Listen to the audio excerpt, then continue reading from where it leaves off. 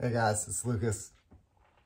Today's gonna be a fun day. I'm gonna be potting up my tomatoes into larger containers.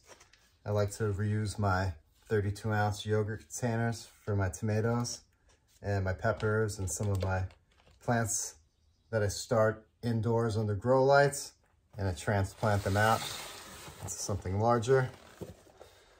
Here is my tray of tomatoes. I have roughly 50 plants in here. And we can have six different varieties. My process is I start them out. This year I started them out in these compostable cells right here. I like these because it makes it really easy to transplant them into a larger container.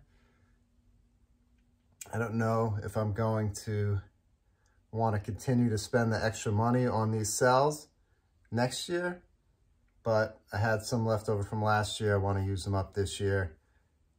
Next year, I might just buy some plastic cell trays and do it that way and pop them out. But I do like these because they make them super easy to transfer.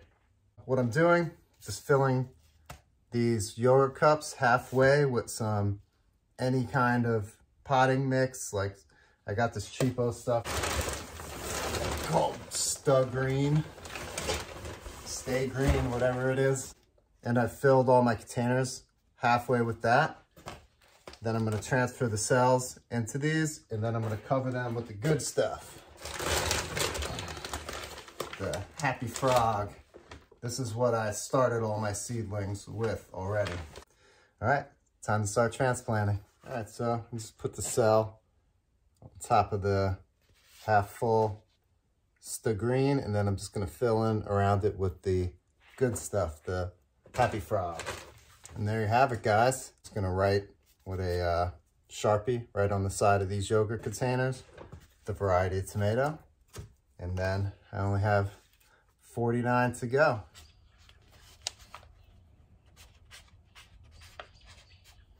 All right, so that's it. 48 plants later. I have them all potted out and either these yogurt containers or these guys right here. A little more flimsy, but a little bigger. But they both do the trick really well.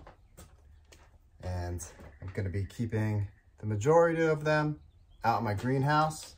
And some of them I'm gonna continue to let grow in my basement under the grow lights. Let me go show you their new home in the greenhouse. All right, so I just brought the majority of my tomatoes out to the greenhouse where they're gonna be living until I transplant them either in the garden or to a larger pot and put them outside. Let me show you what I got. I have 10 indigo, which are sort of a heirloom, darker colored cherry tomato, indeterminate cherry tomato.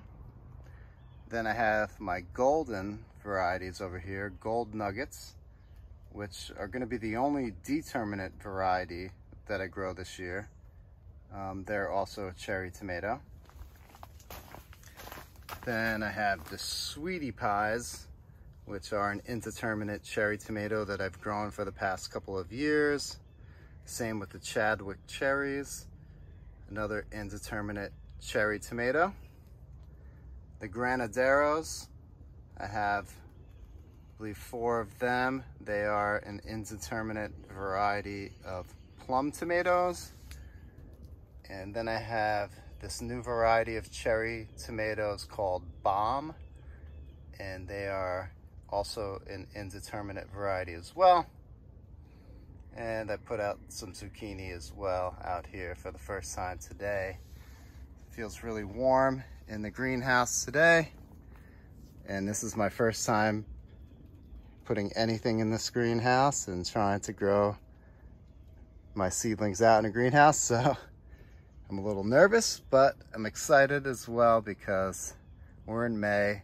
I don't really foresee a ton of cold nights coming. Um, I'm almost more worried about it getting too hot in here. So yeah, hope you guys liked the video. I wanted to share with you my progress on my tomatoes. And I know some of you might be saying, Lucas, what the hell are you gonna do with 50 tomato plants this year? Well, I'm gonna grow a ton of tomatoes. I'm gonna try to sell some as fruit at my farm stand in Smallwood.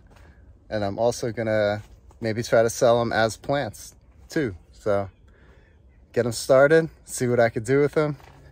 Love growing tomatoes, one of my favorite things to grow. Ooh, it's hot in here. We go outside. Love growing tomatoes. It's one of my favorite things to grow. I'm gonna be growing a lot of cucumbers this year, mushrooms as always, and see what else I can grow this year. A lot of squash. Can't wait, and I'm gonna keep you guys updated. Make sure you subscribe to my channel if you wanna see what I'm doing this year. Going big. Have a great day and stay healthy.